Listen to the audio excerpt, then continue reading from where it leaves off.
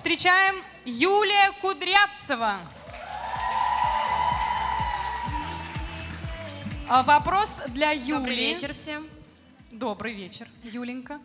Вопрос для Юли задаст, а давайте Георгий Фролов. Георгий, вы готовы? Или вы еще не списали с последней, на последней партии сидя?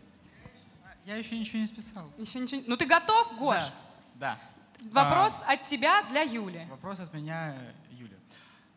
Юль, кого ты видишь в зеркале? А, Я вижу очень успешного в будущем человека, а, высококвалифицированного специалиста именно в своей области. Вот.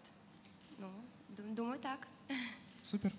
В какой области, расскажи? А, химия, химик-технолог будущий. У всех химиков, мне кажется, яркое химическое будущее. Аплодисменты. Ну, где, где? Здесь я должна добавить, что мой любимый химико-технологический факультет, да? Где-то здесь. Вот, мне кажется, самое время это сказать. Браво. Татьяна Ивановна, ваш вопрос. А Можно предварительный вопрос? Юлия, вы знаете, что такое сульфат бария? Конечно. А вы знаете, что он безопасен для детей? А, м, Отлично. А вы знаете, а вы знаете, что он просвечивается на рентгеновских снимках? да. Вот, Диана Вячеславовна мне запретила вам задавать вопрос, почему детский кон- конструктор Лего идет с добавлением сульфата бария. Это если дети проглотят э, маленькую штучку, она будет видна на рентгене. Но поскольку этот вопрос мне запретили задавать, я вам задам такой вопрос. Вы танцор, Да. вы успешный танцор. Да. А знаете ли вы, что существуют русские народные танцы? Конечно.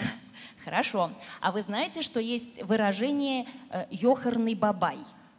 Да, слышала. Э, В зале, наверное, тоже слышали. Вот ёхар — это бурятский народный танец. Как вы думаете, какой русский аналог ёхара есть у нас? Вы знаете, я затрудняюсь ответить. Русский народный танец. Много девушек водят Хоровод. хоровод. Спасибо. конечно. Спасибо. Ну, все, ответила, ответила, ответила. Спасибо. Юлечка, спасибо.